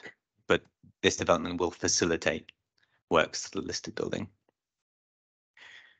And I think that covers all the points. So um, I think for, for the reasons I've set out, the reasons that are in the officer's very detailed committee report, um, we hope that the committee can um, agree with your officer's recommendation to approve. Thank you. Okay, thank you. Thank you very much for that. So does the, yes, the committee do have questions. Councillor Ibrahim, please. So can we go back to the, the, point um, that we were made earlier and it'd be, it'll be interesting to hear from you about the afford, the lack of affordable housing, because you haven't addressed that in your presentation at all. So could you elaborate on why um, you're able to provide a home that you will not receive any um, income from, but then not able to um, provide uh, at least one affordable home? Okay, thanks, councillor. I, I didn't mention it specifically because I, I thought um, Mr McNaugher had covered the point, but um, even if that um, manse accommodation was sold privately as part of the development, there still wouldn't be sufficient funds to provide any affordable. We, we would still be in deficit. I think this scheme is at about 9% GDV. The normal expectation is about 17 to 20% GDV. Um, so it's substantially lower than where a private developer would be. But the work that we do with community organisations, churches, uh, as mentioned earlier, that we work with a lot of Baptist churches. This is not our first scheme of this nature. Um, we've delivered two already, and we've got a couple of others at, at pre-app at the moment.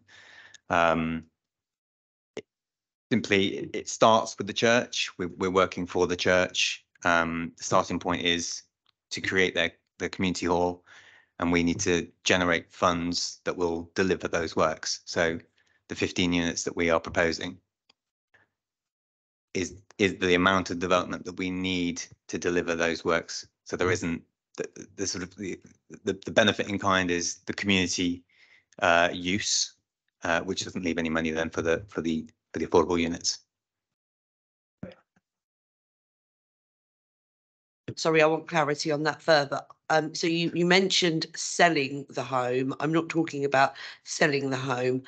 Even if you, you, you are providing one home free of charge, you've got no income coming from that, correct? So if you let it at even the maximum that you can charge as an affordable unit at eighty percent, you would be making um a, return on that because at the moment you're proposing to not charge the person who will be living there. Yeah, I mean, the, the, yeah, I mean, even if it was private or affordable or whatever, it's still the scheme is still in deficit, so it, it technically cannot viably provide either a unit on site or or a payment in lieu. It doesn't matter what tenure that's in, it, the scheme is always going to be in deficit. Uh, Can I just bring Rob Krzyszowski in here, please? Thank Thank you, Chair, and thanks, Councillor Ibrahim, for raising the issue amongst other councillors. So um, understand where the question's coming from, but must remind committee that um, the decision that committee has to make by law has to be made in accordance with the development plan unless material considerations indicate otherwise. And in this case, the scheme on the table is what the scheme is on the table. So we can't be assessing another scheme. I know, I know where the question is coming from, but we have to assess the scheme as is with the pastor's house as part of that. Um, so the question is, is it in accordance with the development plan policy? And the development plan policy is all the policies that have been discussed, including on affordable housing. And affordable housing is is is absolutely, and it's it's in fact development plan policy, so absolutely correct. Um, but the question there is, um, it is subject to viability. So the viability evidence has demonstrated that um, it, it is it is it is not viable um, even as a private unit. It's below um, the threshold. So um, so that's that's the question when making a determination on this planning application that needs to be answered um, by committee is, is it needs, it needs to show that it's in accordance with policy. And the assessment that's been done shows that it is in accordance with policy because the viability evidence has backed that up. So I just wanted to be clear, that's what has to be in committee's mind. I know where the questioning is coming from, but that is the position that has to be in committee's mind when making the decision. Thank you. Thank you. So councillor Emery?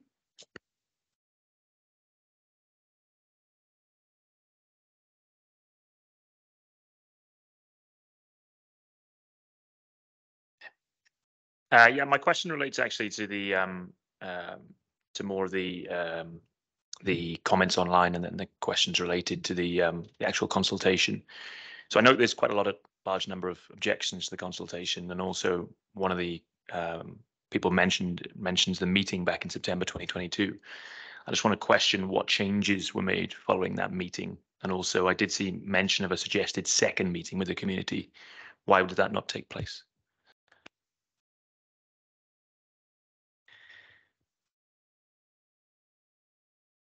Um, trying to think in terms of the changes that were made to the scheme. I think there, uh, we obviously had comments about design principally. I think were were were the main objections to it in terms of the size, scope, scale, bulk.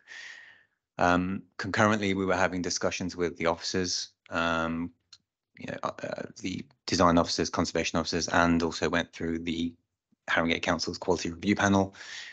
And it was felt through all of those discussions that you know we were we were actually giving being given quite favourable comments from uh, officers and also from the quality review panel in terms of the design. Um, uh, they welcomed us to um, submit the application, so we felt that you know we had we had reached a position where, whilst yes, there were objections to um, to the design principally from local residents that we were being given a different opinion uh, and design is is is one of those things. It's very opinion based um, that we were encouraged to submit the application. So we we did and that further consultation would be undertaken through the statutory uh, processes in any event so that the, the officers would uh, allow residents obviously further comments uh, and if I think if officers felt that those comments were material and just, that we would be invited to make amendments uh, during the course of the application. But you know, the scheme before you is is largely as it was submitted. Yes, we've made a few tweaks along the way, but um, officers are content, conservation officers are content. Uh, and as I say, the quality review panel was was was very in favour of what, what we had done. In fact, we we were being encouraged to be bolder um, by the quality review panel, um, but through discussions with officers, it actually felt a more muted uh, response in terms of brick, principally. Um, I think we, we'd seen that metallic image previously, which was an earlier iteration. Um, wasn't the way to go in the conservation area in the building setting. So, um, yeah, that's, that's where we were on that. I, I think just just in, in just one on one thing in terms of the community use, I think there's perhaps miscommunication in terms of what we had suggested at, at the initial pre-app. Um, we, we have always said that you know this this firstly does um, meet the needs of the church. They have specific requirements in terms of Sunday service and Sunday school, things like that. But there would always be opportunities for further community use. And there, there was a condition, I think, proposed by officers to ensure that that does happen. But it was always envisaged that we would, you know, during the construction of this, uh, getting closer to the time when this facility would actually open, that there would be further discussions in terms of what exactly other, other people want to use it for, uh, that would then dictate the fit out. You know, we, we see this as a very, very flexible space. It's in the basement. It's designed to be very robust, so it can take a whole range of different uses um, with you know movable furniture and all these things. So it can cater for a, a lot of different uh, needs. Um, so I just wanted to make sure that that was clear that there was always the intention for the space to be used not only by the church but by the local community. Uh, thank you for that, Councillor Brennan.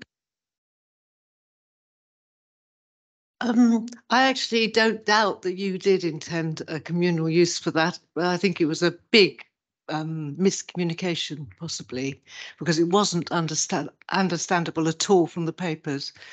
Um, I, I don't quite know how to say that to ask this, but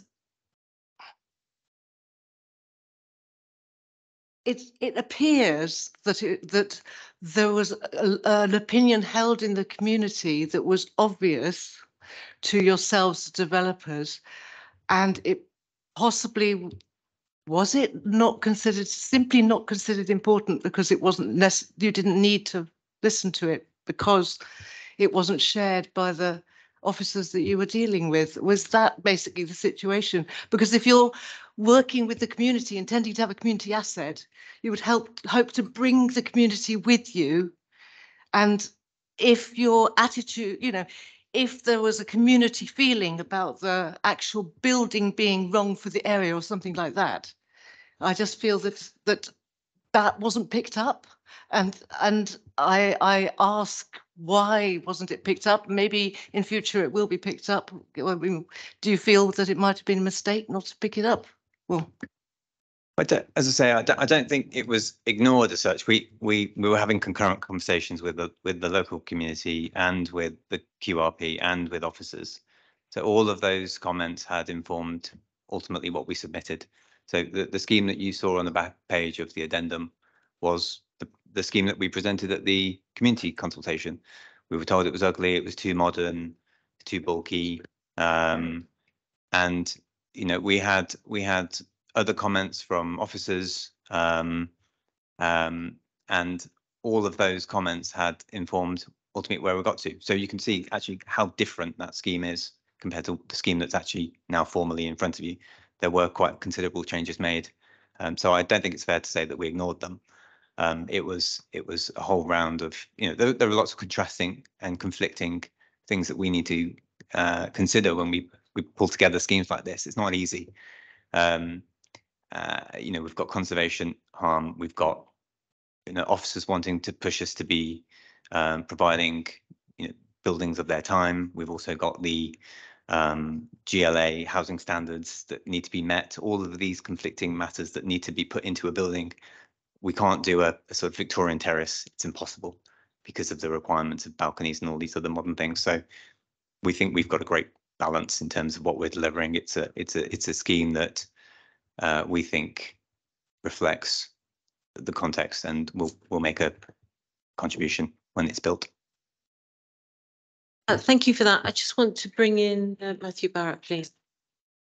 Uh, yes, uh, thank you, Madam Chairman. Um, I just need to remind members that whilst there is a debate going on and whilst people are speaking and adding to that debate, members should be in the room hearing everything.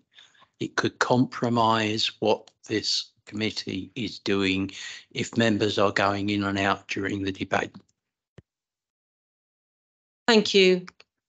Right, okay, well, can you just all note that, please? Um, so I've got councillor Bevan. Yeah, so I think the objectors said that there hadn't been much cons- consultation about community use, etc., etc. And I note there's a paragraph in here, 6.2.19, about future community use. I wonder if we could strengthen the wording to make sure that that is really effective and happens uh, as soon as practical. I put that to officers and I'm sure you would not have an objection to that. And then the other point that was raised was about these houses won't be bought by Haringey residents. Would you be accepting of a recommendation that for the first six months, these houses would only be, or these flats would only be offered for sale to Haringey residents because we do have that requirement on some schemes. I'm not, so I'm asking you whether you would be accepting of, of that as, as a condition. And then also, we have a housing target in Haringey of 1,592 properties a year, which we're obliged to deliver in accordance with the GLA requirements. That encompasses all types of housing. So I'm correct in saying that this provision would help us meet the Mayor of London's target for Haringey, yes? I just want to bring uh, McNaugher in at that moment. Thank you, Chair. Um, I think um, with the applicant's agreement, um, we could enhance um, the additional condition that's included in the addendum, condition 39, um, based on um, some of the points we've heard this evening, to include an element of prior engagement with the local community to understand their needs. I think that would be reasonable in line with policy. On the point of um, marketing and, and priority to Haringey residents, um, we have no planning policy basis for that. So um, I think that would be best as an informative um, that the applicant um, should do that. Um, we would have that on um, shared ownership housing as part of our housing um, policies outside of the local plan, um, and, and those are usually built into um, legal agreements for for shared ownership and and um, other types of intermediate tenure. But we don't have a policy requirement for that for private um, housing. So I think it, would be um, unreasonable to include that without a policy basis. But I'm happy to include some form of wording in a in a an amendment to condition 39 to reflect the need for engagement with the local community to meet their needs. The informative about Haringey residents? Yes, sir. And yes, I'm informative. Yeah. Okay, did you want to come back on that? Yeah, just on the condition thirty-nine, uh, n- no issue with that. You know, uh, uh, fully, fully accept uh, the suggestion that we carry out further consultation that would then inform the uh, community use plan. Um, I think that's, that's it. I think I agree with the other, the other comments that Mr. McNally has just mentioned in terms of sales. Okay, thank you. So I've got councillor Jameson, councillor Dunstall and councillor O'Donovan. So councillor Jameson, please.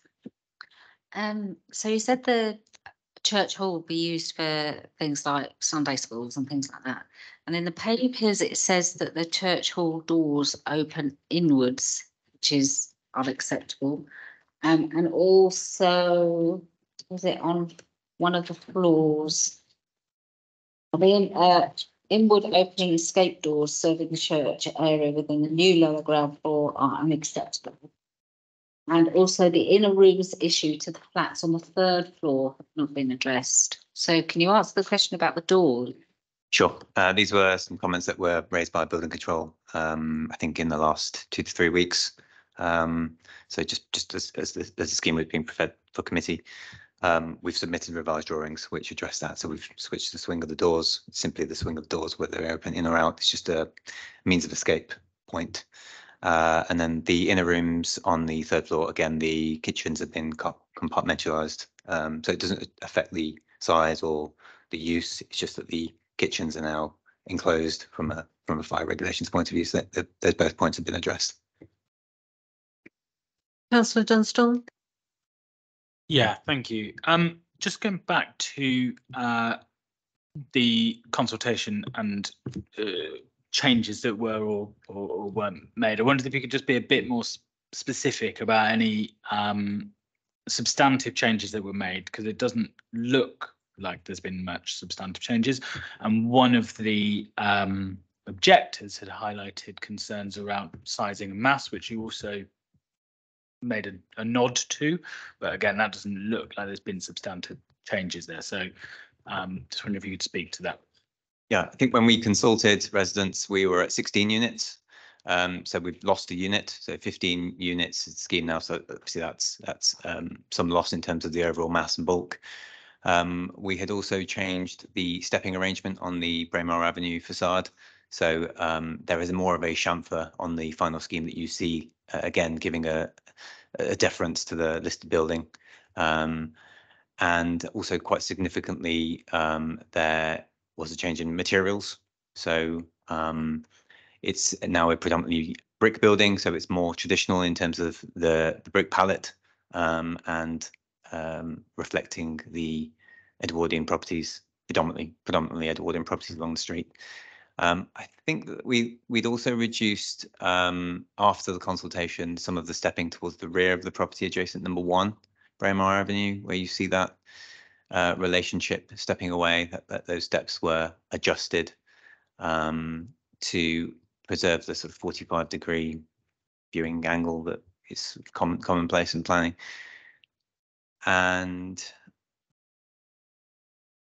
then during the application period, through discussions with the officer, we've we've again changed some of the windows and the use of the terrace, uh, the areas there. So again, ensuring that um, potential for overlooking is is mitigated.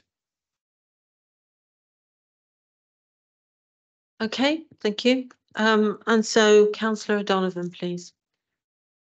Okay, thank you. Um, thank you for coming and particularly thank you to the objectors um, for coming. I'm coming back to condition 30, 39 and I certainly welcome the suggestion earlier that there should be um, formal community community involvement in the decision made. And as you know, the, um, the development will not commence until a community use plan has been uh, submitted to and approved in writing by the local planning authority. And as I said, I welcome the involvement of the local community there. Um, and I hope that during those discussions, the church will also have heard um, what the what some of the objectors said today, in particular the local councillor said today, in relation to that there's probably no shortage of commercial spaces that can be rented, but what there is shortage of is free spaces for the, um, the, the need of the local people. And I would hope that consideration in this process would be given by the church to allowing local people to hire the space for free or at a very small amount of money. So it truly does become obviously it will be used by the church for their uses on Sundays, etc. But also it will really become a, a real social asset to the area, which is desperately needed. Thank you. Do you want to respond to that? Yeah, sure. Um, I, I, I'm sure that that is their intention, and certainly the schemes that we've delivered. So we've delivered one in Homerton already that's that's active, and another one in West Ham, which was opened about nine months ago. Um, both of those schemes have community use plans. Both of those schemes have uh, spaces that can be hired for not very much money at all, uh, or even free, depending on what the use is uh, and the time of the day. So yeah, again, um, fully expect that to be the same case here. Okay, so I think there's no more questions. So thank you um, very much. So can I now, um, uh, I'd like to ask Robbie McNaugher to confirm the proposal with a summary of any changes, please. Thank you, Chair. And I think just one final point on the um, thorny issue of, viability is, is worth noting that there are um, early and late stage reviews in the recommendation, which we haven't um, mentioned earlier. So um, if there is an uplift in value through the development being delayed um, and um, values increasing or during the build, build cost reduce and um, values increased, uh, those are included in the recommendation, just worth emphasising. Um, one point um, that also needs a mention is that um, one of the um, objectors rightfully mentioned the issue of bats and the applicant has submitted a bat survey, but just given the time that it's has taken for this application's been assessed, that will need redone again. So um, that's an additional um, recommendation is to include a condition um, for a further um, bat emergence survey, which um, has been done um, just over a year ago um, and, and will need redone. So just then to, to summarise, so the, the recommendation is to approve subject to conditions and, and section 106 as amended in the addendum um, to include that additional condition, which will be 49, uh, 40, 40 on the, the BAT survey, an amendment to condition 39 um, to include engagement um, on the needs of, of local residents and through the community use plan, and then an informative um, um, requesting that the applicant um, give priority to local residents in their sales, and that's the um, the recommendation. Thank you, uh, councillor Ibrahim. It's at this point that we, um, I would like to move a motion to reject on the basis of lack of affordability. Case. So we need reasons and, well, and all the, the, the reason is lack of affordable housing. is there a seconder? So councillor Brennan?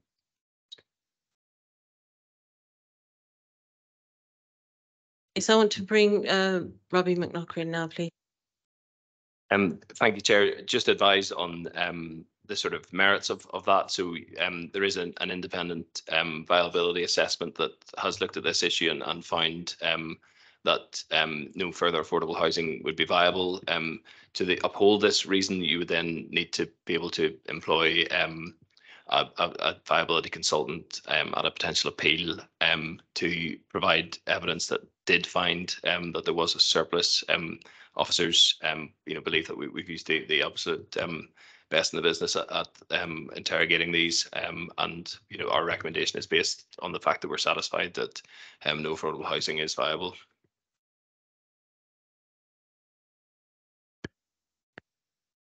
Right, so I just want some advice from the legal. Right, uh, Mr. Chairman, you've got a proposal, you've got a seconder. Uh, that is on the table. That has to go first. Okay, all right. So, so we now, so we vote on that Right, proposal. what you are, you are voting on a refusal on the grounds of a lack of affordable housing contrary to your, your policies. All right, um, you're happy with that, Robbie? Yes. Okay, so all, If you wish to refuse, you vote for that motion. Sorry, I'm confused about that. So, The, the, the we motion is to refuse. If you want to refuse, you vote for that motion.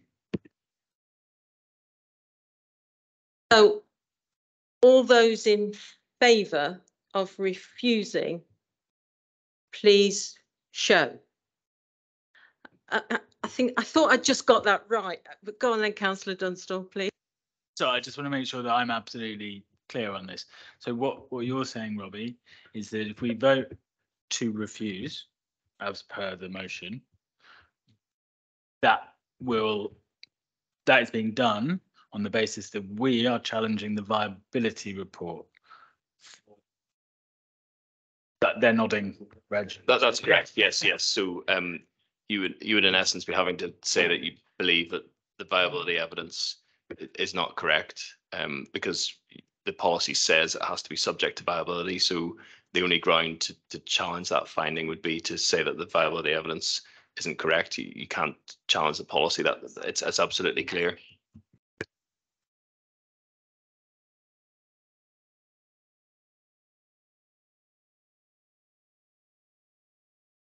Point of order, we, we can't have a debate. and- Ha- Hang on, please. point of- Councillor Rice, just wait a moment. I'm just trying to work my We way can't have a minute. through all of this. Can we can't just it. bring the legal officer in first of all, please? Thank you.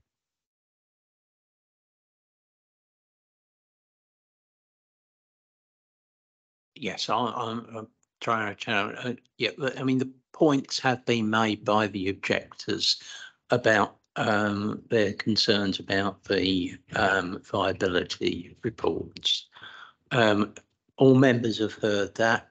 It really is up to members as to whether uh, how, how much credibility and weight they give to that as compared to uh, the job which has been done by your own planning officers. Um, so what we now have, uh, yeah, I'm, I'm sorry, this is not something, the debate is over. This is now around the table. Um, the motion on the table is to refuse this on the grounds of the lack of affordable housing. That is the motion on the table. If you want to refuse, you vote for that motion. It may well be that after, if you do refuse, that we may need to go back and review those figures. But that is the motion and that is what you're voting for. So I don't think there's anything else that should be added, uh, Madam Chairman. We've got a motion. Um, and I, I think it really ought to be the question you should, you should be asked for the question to be put. Okay, so we are, so we're going to vote then um, on this motion, which is to ref- refuse the application on the grounds of affordable housing. So those in favour of the motion, please show.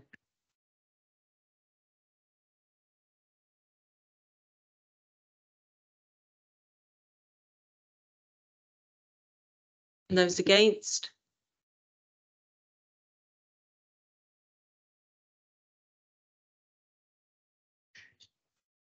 Okay, so, Motion is passed as five.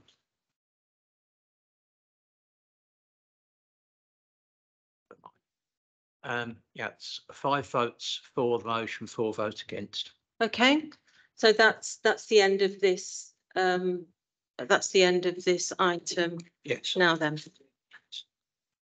Okay, um, right, so then we are now moving on to, so we move on to the next, so we move on then to the next item.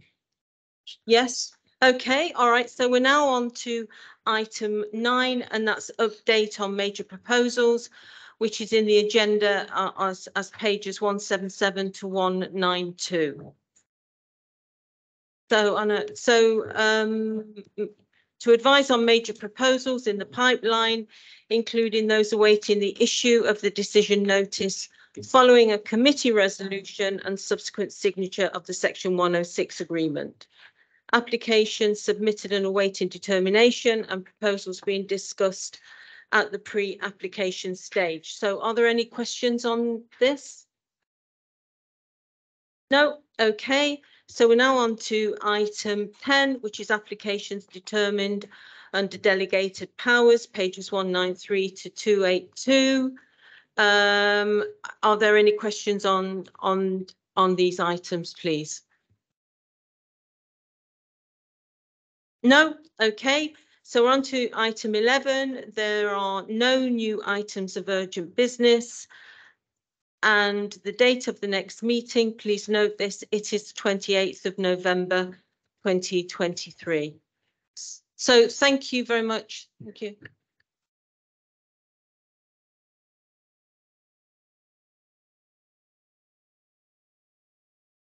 Put the microphone on, please. Yeah, the notice that came out with the supplementary papers in terms of the next meeting, it says 20th February 2023. Strategic committee, that's different. It doesn't say. That's next week. It says to note the date of future meetings, twentieth of February twenty twenty-three. Well, just note them, please. That- Sorry? So next week is the strategic committee, which is different from this one, and the next uh uh planning subcommittee is on on the twenty-eighth of November. Thank you. Uh, sorry, go on, Coach. Just wanted to quickly say, if you wanted papers for those meetings, I've left them at your table. The strategic planning, there's, I've left papers for you. Okay, thank you very much um for this evening and good evening to you all and thank you, thank you.